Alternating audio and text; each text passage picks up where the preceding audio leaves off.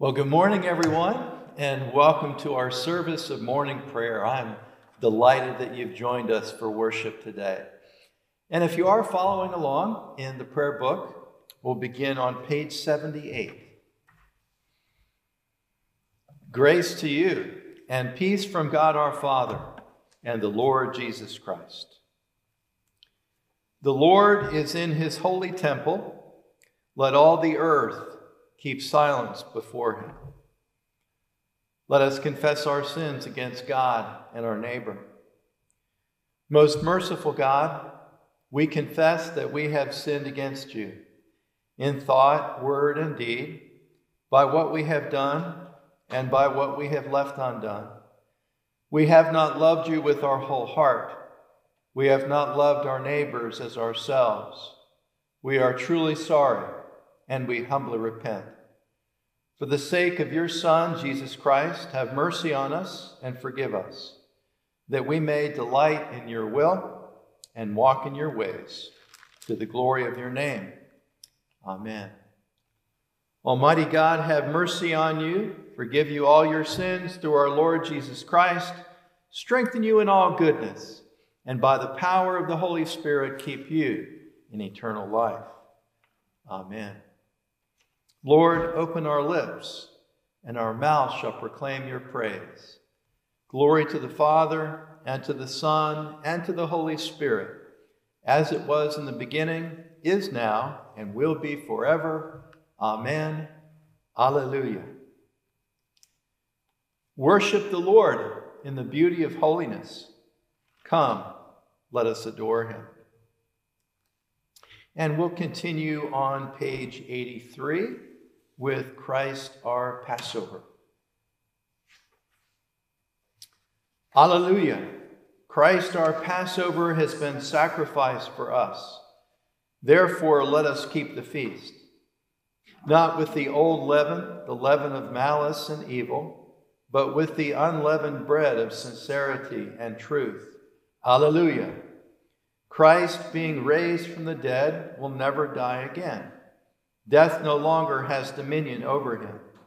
The death that he died, he died to sin once for all, but the life he lives, he lives to God. So also consider yourselves dead to sin and alive to God in Jesus Christ our Lord. Alleluia. Christ has been raised from the dead, the first fruits of those who have fallen asleep. For since by a man came death, by a man has come also the resurrection of the dead. For as in Adam all die, so also in Christ shall all be made alive. Alleluia.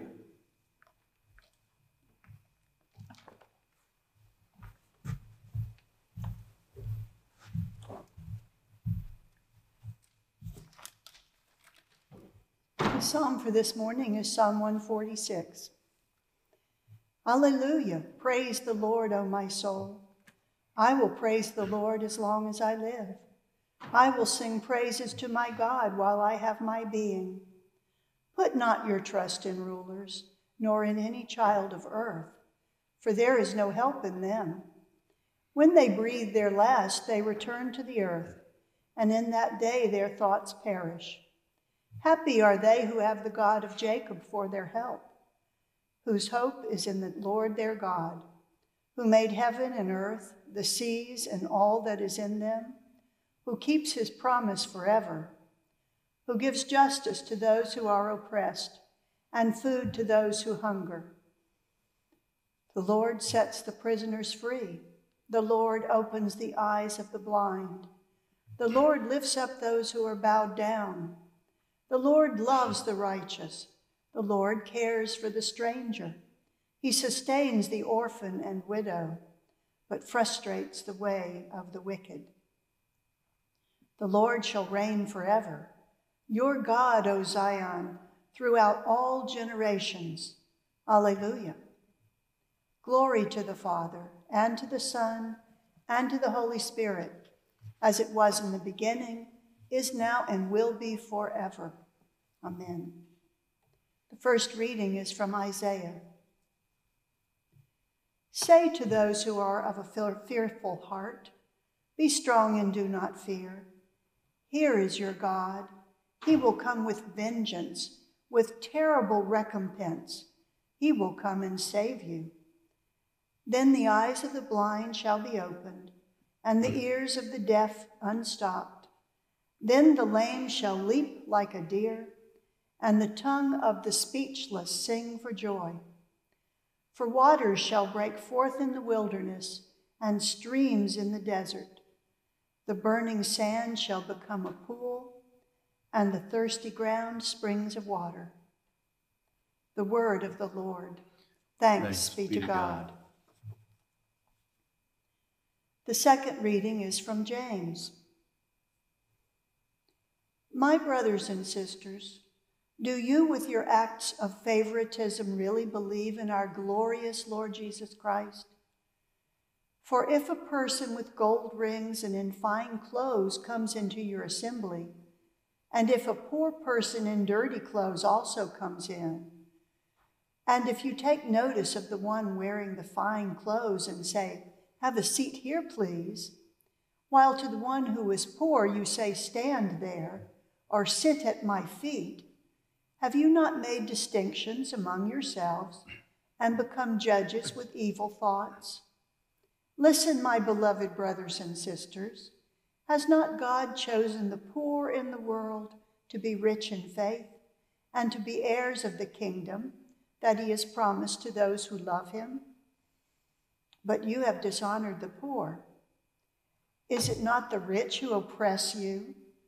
Is it not they who drag you into court? Is it not they who blaspheme the excellent name that is evoked over you? You do well if you really fulfill the royal law according to the scripture. You shall love your neighbor as yourself. But if you show partiality, you commit sins and are convicted by the law as transgressors. For whoever keeps the whole law but fails in one point has become accountable for all of it. What good is it, my brothers and sisters, if you say you have faith but do not have works? Can faith save you? If a brother or sister is naked and lacks daily food, and one of you says to them, Go in peace, keep warm, and eat your fill, and yet you do not supply their bodily needs. What is the good of that? So faith by itself, if it has no works, is dead. The word of the Lord. Thanks, Thanks be, be, to God. God.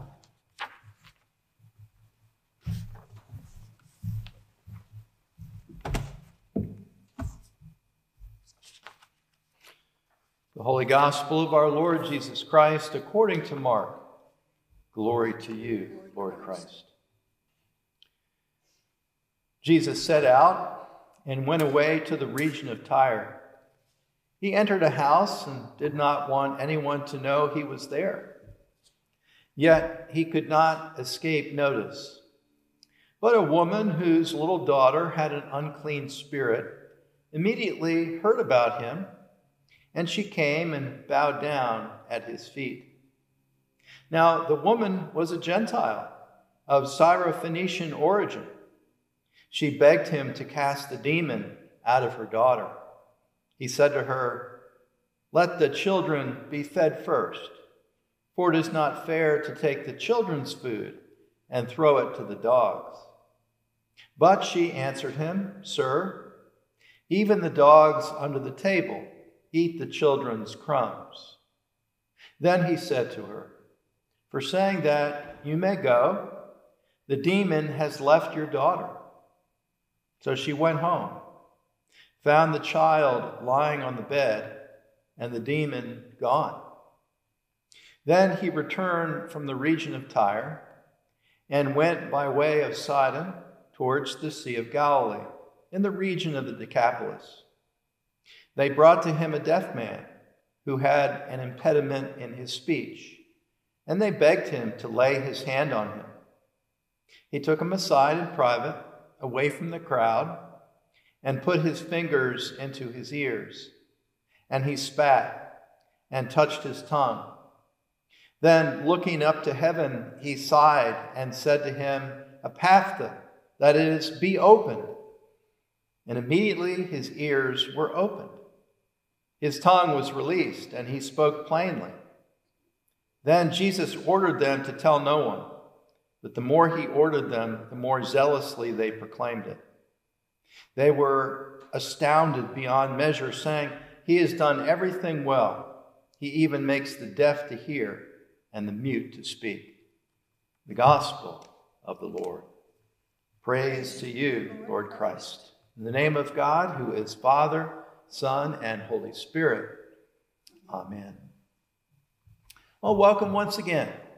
So glad you're joining us for worship in this holy space today. And so today I'd like to have us look at one of the most well known apparent contradictions in the Bible. Uh, by the way, we're continuing with our series that we started last week in James, Cultivating a Faith That Works.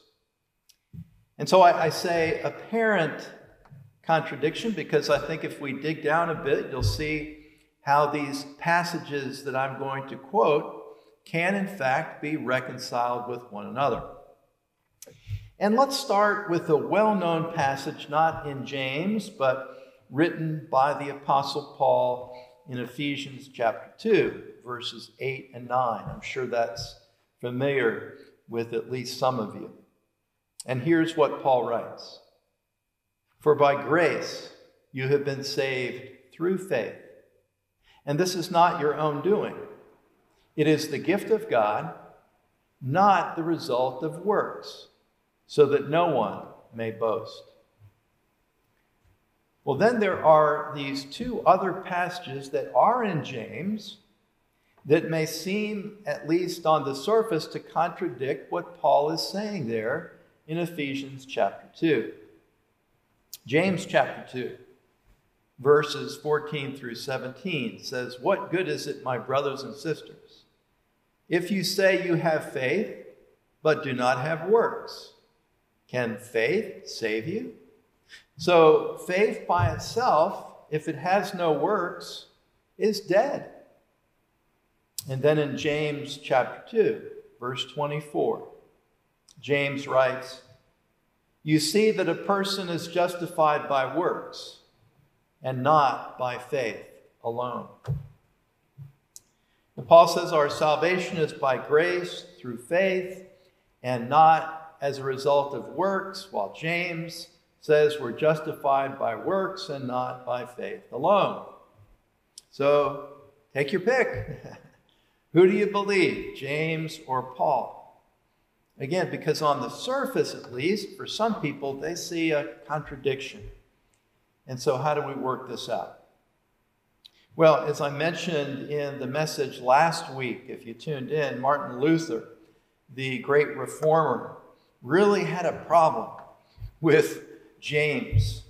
So, so much so that he called the book of James an epistle of straw, which is a pretty harsh assessment of what James has to offer. Now, again, James, uh, Martin Luther didn't say that we needed to remove the book of James from the Bible, but he just felt like it didn't have much to offer Christians. Luther said that James really doesn't present us with a clear picture of the gospel. And so he was highly critical of the book of James, especially when compared with other books in the New Testament, especially the writings of Paul. And so let's look at this. Do Paul and James contradict one another? Or can these seemingly contradictory passages somehow be reconciled? Should we take our cue from Luther and say that James really doesn't have very much to offer, and therefore kind of relegate the book to second class status in the canon of Scripture? Are we saved by faith alone? Or are we saved by a combination of faith and works? Which is it? And I think the first thing to realize, and I think this could be easy for contemporary people to miss, is that James and Paul are writing to different audiences and they're addressing different situations. Both James and Paul, in their writing, stress the importance of faith. In fact, I believe they would be in complete agreement that faith in Jesus Christ is the essential element in the process of salvation. However, what James is trying to combat is this attitude that I can believe in Jesus and then just go on living my life like I please. This attitude that says I've placed my faith in Christ, and so I really don't need to be concerned about doing good deeds. I can live a life that's, you know, I could total, totally dishonor God, violating God's commands, and really don't have to be worried because I have this belief or I have this faith in Christ, and so my salvation is secure. And do you know the great Christian pastor and theologian who was uh, martyred by the Nazis, by the way, Dietrich Bonhoeffer, coined a term for this kind of attitude, and he called it cheap grace. So here is how James argued against this kind of approach. He said, Think about this. The demons and the devil, well, they believe in the Lord. They believe in Jesus. They do. They believe 100% that Jesus is who he says he is. And so James is saying, What good does that belief do them? James says, No good. Why? Because simply believing something on an intellectual level does nothing.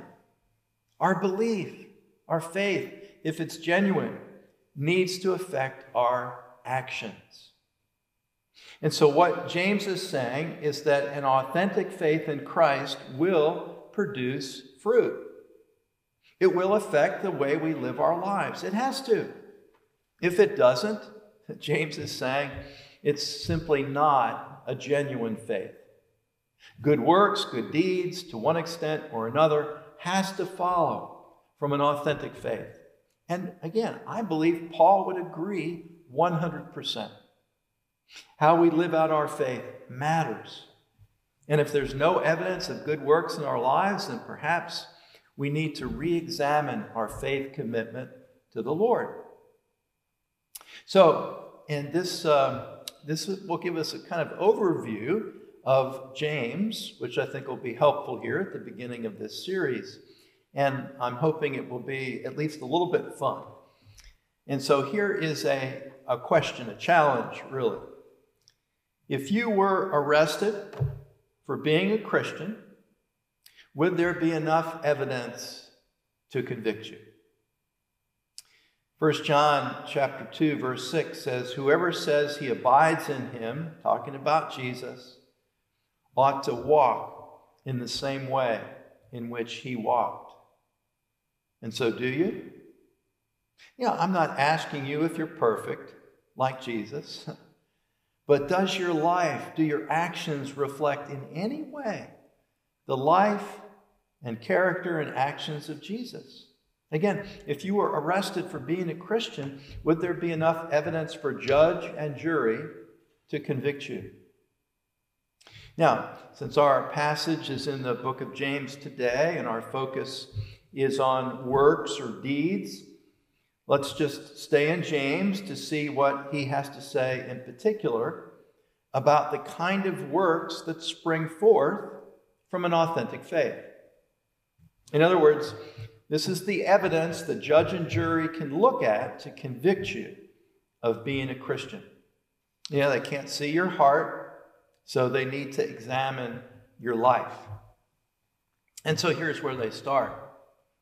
We considered this last week in James chapter 1.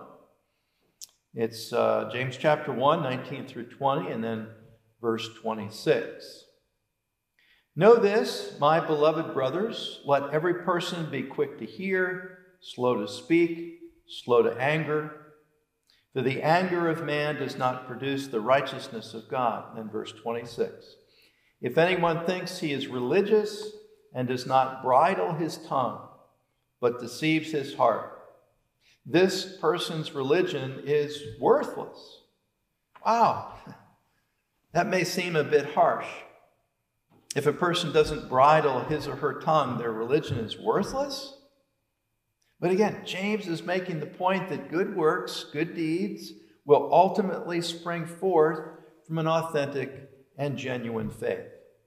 So, in this arena of life, in terms of controlling your tongue, when the judge and jury examine your words, are you found guilty of being a Christian with regard to your speech?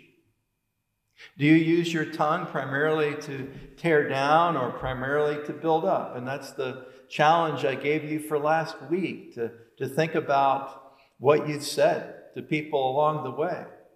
Is it encouraging or is it discouraging? Again, the judge and jury are not looking for Christ like perfection. They're just looking to see if your speech reflects your heart and your faith. And so, what's the verdict? Next, the next place the judge and jury will look is in James chapter 2, verse 15, which says, If a brother or sister is poorly clothed and lacking in daily food, and one of you says to them, Go in peace, be warmed and filled, without giving them the things needed for the body, what good is that? And this, by the way, is the specific example James provides when he talks about one way you can really tell if a person's faith is real. James is asking, Do you ever do anything to help the poor, to help those in need, those who are down and out? You know, evidently, at the time, some Christians were just saying a kind of blessing over the poor. You know, be warm and well fed, go on your way, be at peace. But they weren't doing anything to care for their practical needs. And James is saying our faith in this regard needs to have feet and it needs to have hands. And the feet and hands of Christ need to be continually meeting the needs of those who are in most need, both here and around the world. And so, what's the evidence in your life that you're making a difference in the lives of those in desperate need? The next place our judge and jury will look is in James chapter 4, verse 6, which says, God opposes the proud, but gives grace to the humble. Submit yourselves, therefore, to God, resist the devil, and he will flee from you. Draw near to God and he will draw near to you. And, and do you know the primary reason that God opposes the proud? It's because when we're prideful, what we're really doing is putting ourselves in the place of God, which is called idolatry. We're telling God that we're really fine on our own and we don't really need his help after all. You know, some over the years have called pride the root of all sin. So, as the judge and jury examine your life in terms of your humility, what do they find? Again, you don't need to be perfect like the Lord, but is there enough evidence with regard to living a life of genuine humility for them to convict you of being a Christian? Next, the judge and jury will look at James 5:16, which says, "Therefore, confess your sins to one another and pray for one another that you may be healed. The prayer of a righteous person has great power." And so what about prayer? When the judge and jury examine your life to find out if you're a person of prayer, what do they find? And I, I found over the years that sometimes people feel guilty about this. They'll say, Doug, you know, I've tried to have a, a daily prayer time, but I found that I really can't stay consistent. You know, I tried to set aside an hour each morning or each evening and read my Bible and pray, but I, I just can't keep up with it. And perhaps that's because you, you bit off more than you could chew. Now, get this. The New Testament says, pray without ceasing.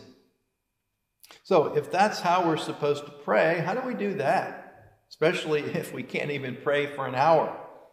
After all, we've got so many practical aspects of life to tend to. We've got to eat, we've got to sleep, we've got to, right now, watch football, if you're, especially if you're in the Gray family. We've got to take care of our daily needs. We've got to care for our relationships with others, our families. And so, how are we going to pray without ceasing? And you see, the problem is too often we compartmentalize our lives. We say, I'm going to set aside an hour over here for prayer, or this is my time to worship in the church or the chapel, and really focus on the Lord. And once I've done that, once I've done my, my spiritual duty, and some people actually call it an obligation, then I can focus on other things for the rest of the time. You see, we check off the God box for the day.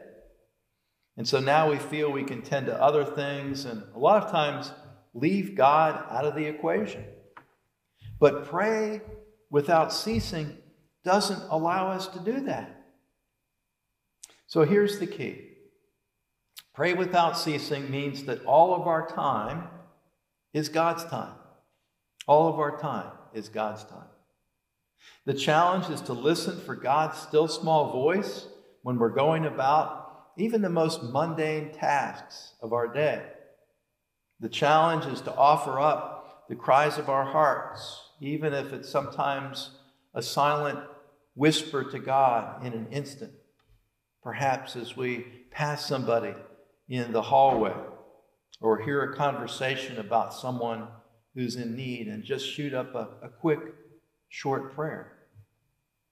You know, when I was in college, I had this bright idea, and I, I knew God would be really impressed with me if I achieved it.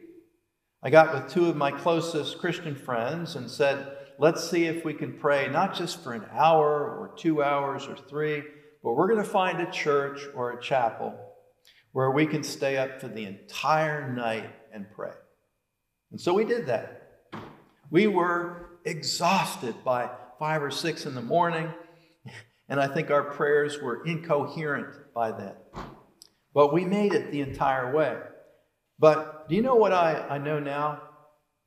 God was not impressed with our achievement, especially since I thought deep down praying for the entire night might give me a special badge of spiritual honor before God. And it didn't. And it doesn't. no, God simply wants us to be consistent in communication with Him. Even if that means we're just listening as we go along for God's still small voice or praying for a moment or two here or there throughout the day. So, the judge and jury, when they look at your prayer life, can they tell that you're a person of prayer who believes that God will answer your prayers?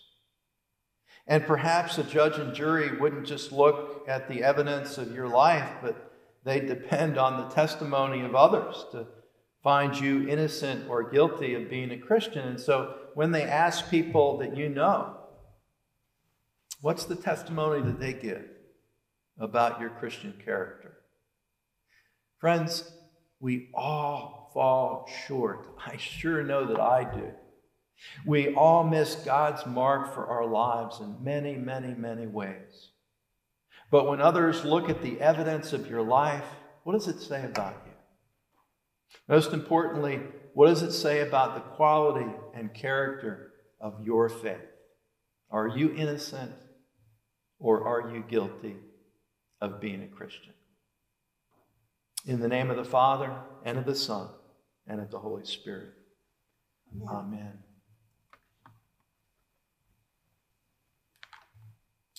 And we'll continue in the prayer book with the first song of Isaiah. It's on page 86.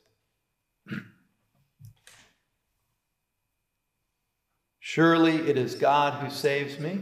I will trust in him and not be afraid. For the Lord is my stronghold and my sure defense, and he will be my Savior. Therefore you shall draw water with rejoicing from the springs of salvation. And on that day you shall say, Give thanks to the Lord and call upon his name. Make his deeds known among the peoples. See that they remember that his name is exalted. Sing the praises of the Lord, for he has done great things, and this is known in all the world. Cry aloud, inhabitants of Zion, ring out your joy, for the great one in the midst of you is the Holy One of Israel. Glory to the Father, and to the Son, and to the Holy Spirit, as it was in the beginning, is now, and will be forever. Amen. And we'll continue with the song to the Lamb. It's on the bottom of page 93. Splendor and honor and kingly power are yours by right, O Lord our God, for you created everything that is, and by your will they were created and have their being.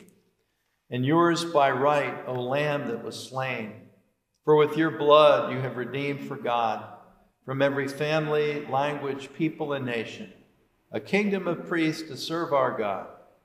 And so to him who sits upon the throne and to Christ the Lamb be worship and praise, dominion and splendor forever and forevermore.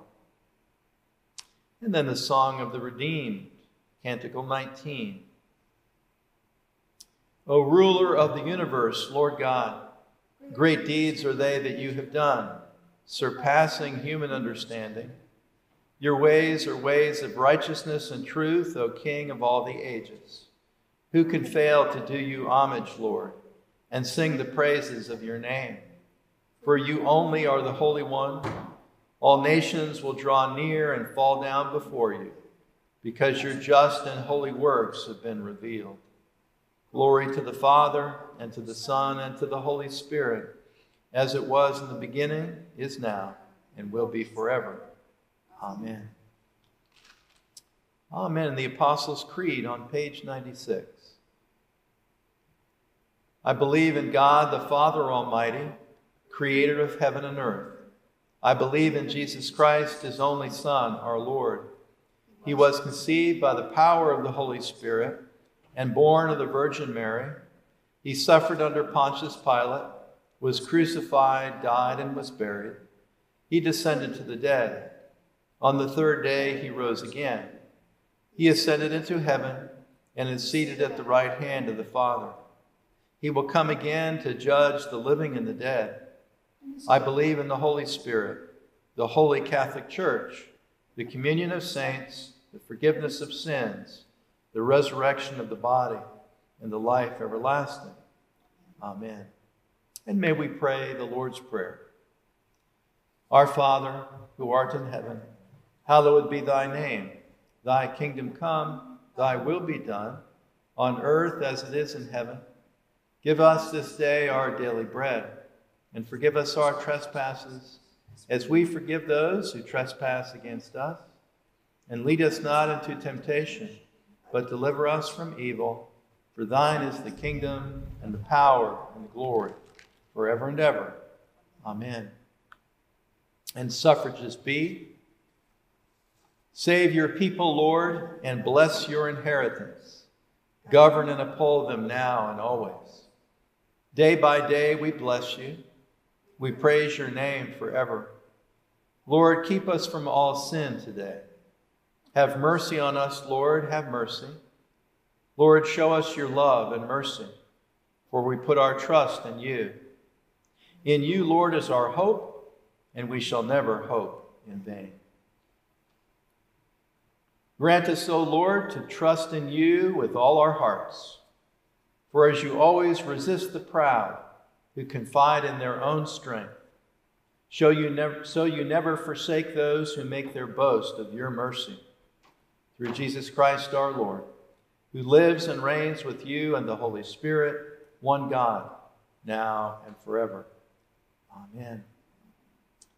O God, the King eternal, whose light divides the day from the night and turns the shadow of death into the morning, drive far from us all wrong desires, incline our hearts to keep your law. And guide our feet into the way of peace, that having done your will with cheerfulness during the day, we may, when night comes, rejoice to give you thanks. Through Jesus Christ our Lord. Amen. O God, the author of peace and lover of concord, to know you is eternal life, and to serve you is perfect freedom. Defend us, your humble servants, in all assaults of our enemies, that we, surely trusting in your defense, may not fear the power of any adversaries. Through the might of Jesus Christ our Lord. Amen. Heavenly Father, in you we live and move and have our being. We humbly pray you so to guide and govern us by your Holy Spirit, that in all the cares and occupations of our life we may not forget you, but may remember that we are ever walking in your sight through Jesus Christ our Lord. Amen. Almighty and everlasting God, by whose Spirit the whole body of your faithful people is governed and sanctified, receive our supplications and prayers which we offer before you for all members of your holy church, that in their vocation and ministry they may truly and devoutly serve you through our Lord and Savior, Jesus Christ. Amen.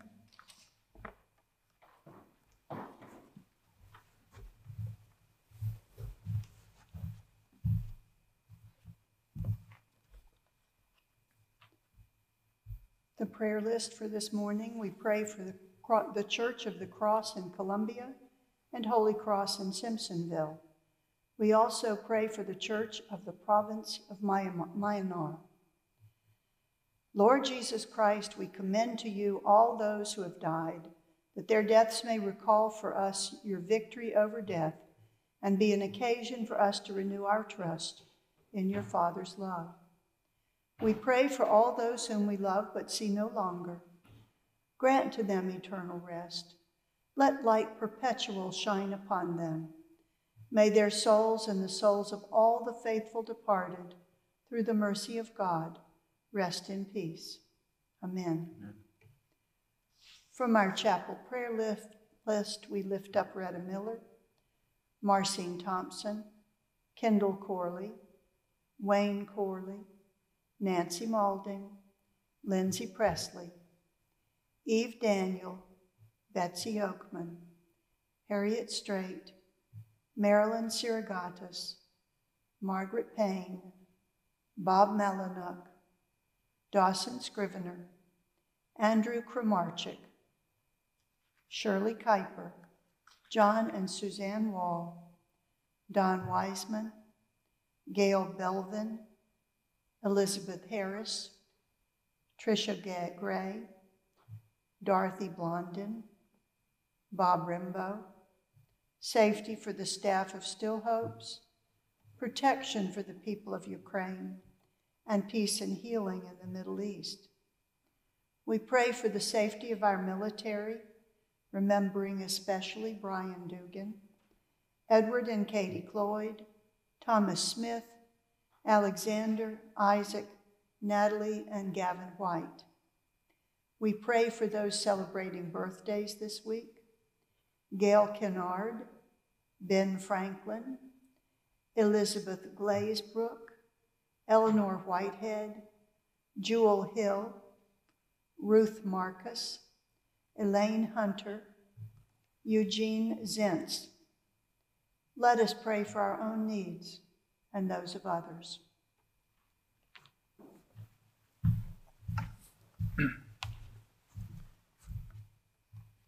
The general thanksgiving is found on page 101.